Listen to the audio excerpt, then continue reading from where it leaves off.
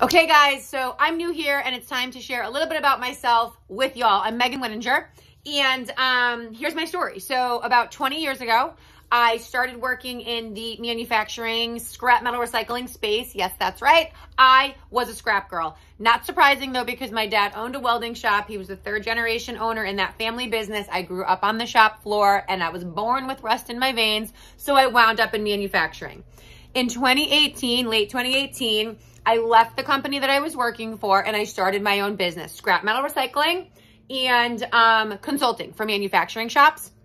Now, I've always been a solo mom, so starting my own business was a little bit unnerving, but it was just time. Well, shortly thereafter, the pandemic ensued. So when you're dealing with manufacturing and aerospace manufacturing specifically, and the airplanes were on the ground, very scary time. Okay. Solo mom, kid in private school, homeowner, all the things.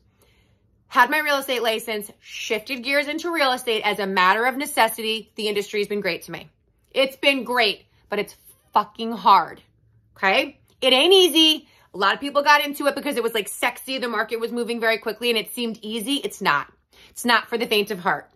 So, and I wasn't feeling like my soul's calling in real estate. So I still work in the, I'm in production. However, the goal now is to help you elevate your presence online so that you can thrive and succeed and create a level of stability, which is the real issue sometimes in real estate, the financial uncertainty. So we are here to help you create certainty and stability, and that's what's up.